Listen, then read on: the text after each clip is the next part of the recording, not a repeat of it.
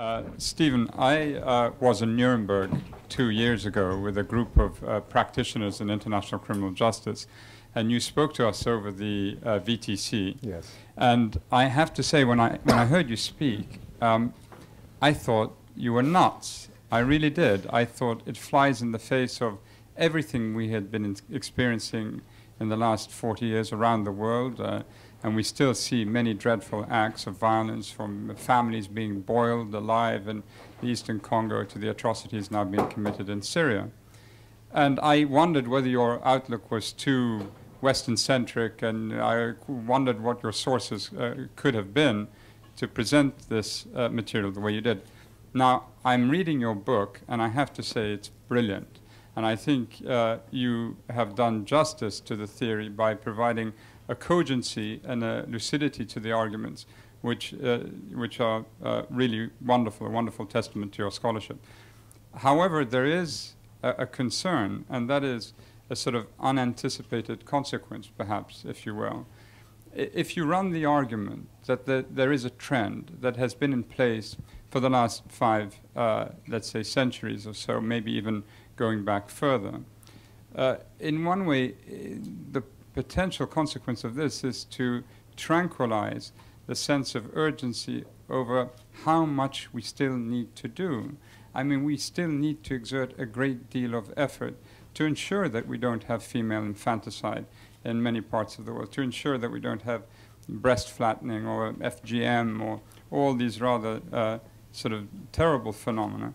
And my worry is, is that you take a bit of the sting out of this by presenting it as an inexorable sort of curve, if you will, or a, a, a, a, development in human history. And in one way, whether we do something or not, it's going to lead to some sort of uh, end to violence in 50 to 60 years, or a curbing of it. And isn't there a danger of this? Uh, in the same way, for instance, that uh, uh social anthropologists, uh, when they first started to do work on the former Yugoslavia in the 1970s, did not anticipate that classification of peoples would then filter into political programs and lead to mass violence and the wars and, and genocide that we saw in the former Yugoslavia. So, so is there not a danger here? Yeah. Uh, well, it's an empirical question, and I suspect that it's the other way around. That if people are convinced that uh, nothing can be done because of either human nature or benighted parts of the world where they'll just kill each other because of ancient hatreds, uh, then that can lead to a, a paralysis based on uh, hopelessness, intractability, cynicism. And uh, I think the, it would be interesting to do the study to give people two sets of hypothetical results and see which one mobilizes them more. Uh, I would not be surprised if it's uh, knowing that rates of violence can come down, something that we have done in the past seems to have worked, would mobilize them uh, more than doesn't matter what you do, the rates are constant. That having been said, uh, for one thing, it's, uh, it, uh, what is true is true. So even if it were the case that it would have the, um, the effects we wouldn't like, I don't think that means we should fool ourselves or mislead people or, or lie because one possible uh, way of reporting the, the truth is uh, uh, leads to effects we don't like. There is a value in just knowing the accurate state, accurately the state of the world. The other uh, reason that I think that it's, it's important to document these declines when they occur is to then go back and see what works and what doesn't work. Uh, because a lot of hypotheses about what ought to reduce violence uh, as, uh, as uh, Jens said, turn out to be false. It's not you know, moral poverty, it's not physical po uh, um, material poverty. Uh, by taking an evidence-based approach, we can look back and see if some of our moralistic ideas that make us feel good uh, by implementing them do or don't have the effect that we actually want. And in the book, I spend a fair amount of time on what are plausible uh, causes of the decline does uh, peacekeeping work, United Nations and other forces. Um, based on recalling single incidents, you could push the argument either way because everyone can recall cases where peacekeeping did not work. Everyone can recall conflicts that fizzled out on their own. But when you do the large N study and you, you uh, aggregate all the cases, uh, you discover that peacekeeping has a massive uh, positive beneficial uh, effect. Likewise, do reconciliation gestures after a conflict prevent it from reigniting? A priori, who knows? It might just be meaningless, touchy-feely gestures. The data suggests that uh, holding all else constant, they really do tend to work. Whereas some other things, uh, uh, interventions uh, uh, don't work. So taking an evidence-based empirical approach, I think, is the, for many reasons, is the, the right way to think about violence.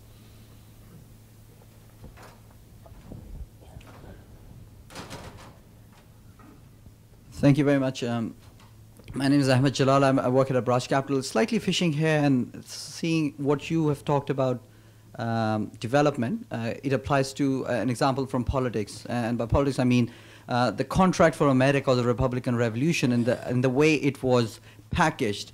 Um, the psychology of that was, you know, there's something called um, uh, a, um, a benevolent father, the father who's a protector and, and, and for you to be moral, you have to be disciplined. And for you to be disciplined, you need to do the right things. And that basically means if you're disciplined, you're going to be prosperous. If you're not disciplined, you are going to be um, uh, a burden on the state.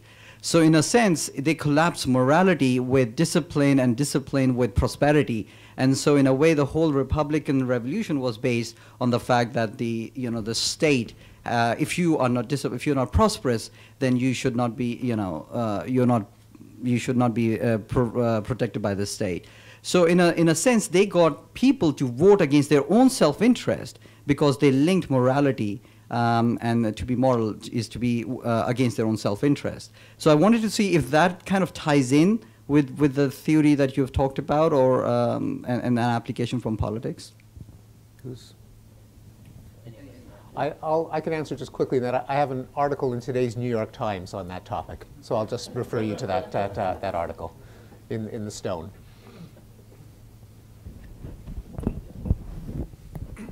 Okay. So, question about um, becoming a man experiment. Um, it wasn't clear to me, but maybe I missed something that you have shown or demonstrated that poverty or moral poverty um, are not increasing uh, crime because maybe they simply make it more likely that people will act without thinking. Now, you may have, you have found a solution that makes people be able to reverse that, um, but at the cause, I don't think you've really shown. And secondly, you say the benefits, uh, uh, cost benefits are somewhere between 1 and 2 and 1 and 30, and in terms of dollars, and just that's a huge range, and obviously you have a huge impact on policy as to, you know, 1 to 2, you might find many other things that work better, 1 to 30, it's not likely. Um, and why is such a huge range with your randomized trials and uh, that kind of uncertainty is not that useful? Yeah, sure. That's a great, uh, great questions. The, um, I, uh, I, I, might have, I do not want to convey the sense that material poverty and moral poverty are not important. Um, it's certainly the case that crime is so disproportionately over, overrepresented in low-income countries and within a country among low, low-income segments of the population that it's very plausible that that plays, uh, plays a big independent role. I think the thing that we've become um, stuck on in many places is uh, we've um, believed that material poverty is an important driver of the crime and violence problem, and it is so difficult to change. If you look at the poverty rate in the United States over the last 30 or 40 years, it, it basically has not changed much at all. And so if you think that the only way that you can change crime and violence is by changing the amount of poverty that we have.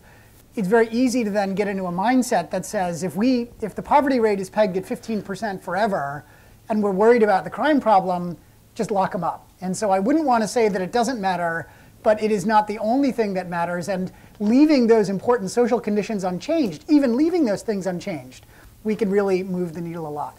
The, uh, the reason that the benefit cost ratio has changed so much is um, there is a, uh, a small number. The, you know, these kids are 13 to 17 uh, on the south side and west side of Chicago.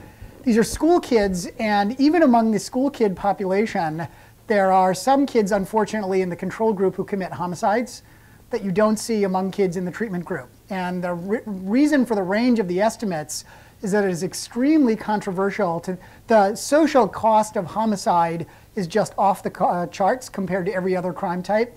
And it gets into questions about how you, what dollar value you put on a, on a life, or a statistical life is the way economists think about it, and whether you should use the same sort of value of statistical life for, you know, uh, a 40-year-old economics professor or a 16-year-old kid who might spend a bunch of their time after school selling drugs on the street corner that is voluntarily engaging in a, and the sensitivity there reflects some attempt to be uh, um, aware of the fact that there's a, a debate about that. So, so, maybe the better question is how does it compare um, to other interventions which would have that same issue? Uh, it, you know, the, the school, the thing that I didn't mention is this, the school engagement uh, impacts forecast out to increase graduation rates of 10 to 20 percent. Uh, the kids are a little bit too old to have reached 12th grade. This is uh, set against a backdrop where the graduation rate in the United States has basically been perfectly flat for 30 or 40 years. Um, we're going to follow these kids out over time with administrative data. I feel very, very confident in saying if those graduation rates are realized, this is going to be one of the biggest wins from a benefit cost perspective that I have ever seen.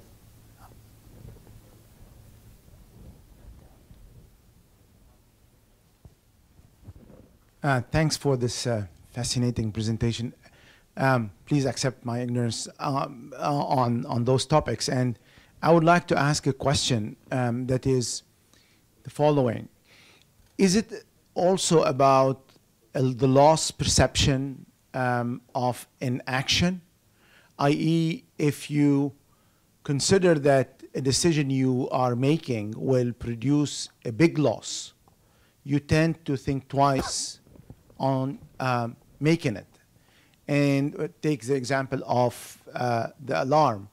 Uh, losing five minutes, maybe you, you consider it one day as you know very minimal loss, or the second day if you need to catch an airplane or you have an important meeting, then your angel mechanism will act um, faster on you, and therefore the loss perception and go back to the teenager, uh, maybe their perception of you know loss is minimal um, when they take an action, and therefore they tend to risk or not to consider the consequences um, compared to those who are maybe have more to lose socially, economically, or in terms of reputation, or they have things that are at stake more important whenever they make these kind of decisions. Is this issue a relevant issue? I mean, I think one of the things that's that's interesting in what you're saying, uh, but um, doesn't end up being as true, is that you tend to you tend to think that somehow when the stakes are very big, or when something matters more, you might behave less automatically. But in fact, those two, while somewhat related, are not are, are far from perfectly related. In fact, take the case of losses that you're describing. If you feel like you're about to lose something, that might actually create an incredibly strong response, which might actually be an even more powerful automatic response. Um, so in that sense, that's it, it's not immediately obvious that losses or any other things that sort of raise the stakes or raise your engagement in the problem um, actually help. So in the CBT stuff Jens was talking about, one of the things that you try and do with stop, look, listen is to disengage. So it's actually to encourage you to step back from the situation. And things like a large loss and so on actually make it harder to disengage. And so in fact, what's the whole automaticity aspect of it is as much about not caring, about distancing, as it is about uh, the stakes being high. Does that, does that make sense? Yeah, what does the so, sorry, thank you. What does the research show about other non-material factors, like for example, um, belonging or the sense of belonging? You know, I am someone versus I'm nobody in this community, which is maybe the same thing as saying um, I belong to a community or I don't belong to a community. Um, the other one potentially uh, would be social values or religious values in that given community. So, for example, some countries which have very low per capita income have a very low crime rate, and others with a slightly higher per capita income have a very high crime rate. Certainly, as you were saying before, income cannot be the main factor. But the question is, what are the factors? Um, Another one could be, and it's always a question, um, am I active or not, regardless of income? So somebody who is active doing something, there's a presumption that the person is less likely to be engaged in criminal activities, but it's only a presumption. So what, you know, I, I don't think we heard a lot about factors in additional to a technique that you are effectively using to fight criminality, which uh, is important. Take one more question here, and then we'll quickly answer and then stop because I think we're out of time. I think I'm just trying to be more explicit because I think I wanted to ask the same thing he, he just alluding to.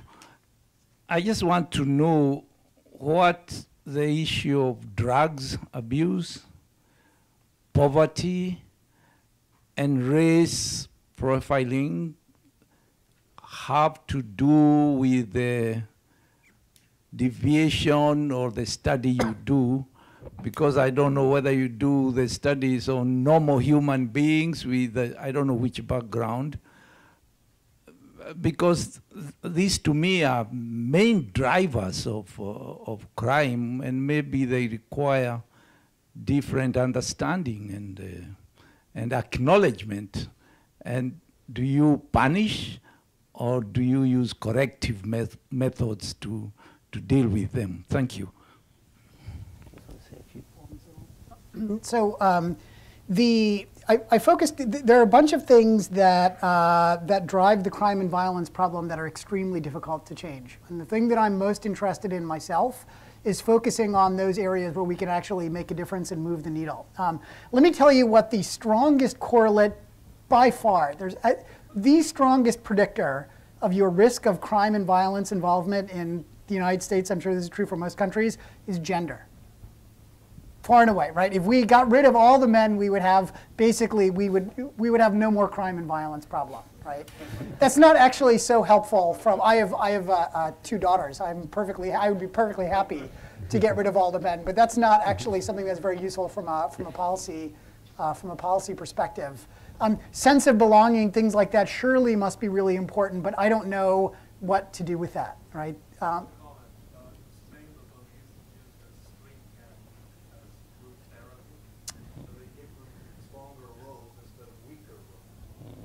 Interesting. Yeah, we've, we've seen that in the United States context too, where the, um, the, uh, some of the police thought, in, in the attempt to be helpful, had really tried to crack down on the gangs and make the gang members' lives difficult. And we've discovered that that winds up increasing the sense of cohesion within the gang and actually makes the, the gang problem uh, uh, worse rather than, rather than better. And so there are a bunch of things that are important contributors that we either can't change or we don't understand well enough where if we try and change it, we might actually make things worse. And let me give one last thought to that, and then we need to wrap up. I think that there's this view of values as being in this vertical scale, but I think across all of these talks, I hope one thing you've taken away is that values are neither good nor bad. So, for example, in Jens's story, the value I'm going to protect my friends is that a good value or a bad value? If it leads you to shoot some guy in the chest, it's a bad value. If it leads you to give to them during times of crisis, it's a good value. And a lot of these values that have these strong behaviors, I'm not disagreeing with what you're saying, I'm just as a reminder that the values can, be, can look very good. A communal value in Josh's thing, where we all look out after each other, that can be a very good value. But that same value becomes an act of violence and genocide when it becomes us versus them. So that, that notion of values, I think it's a good reminder to keep in mind that they're not vertical and they're not better and worse values. So, okay, thank you all. and.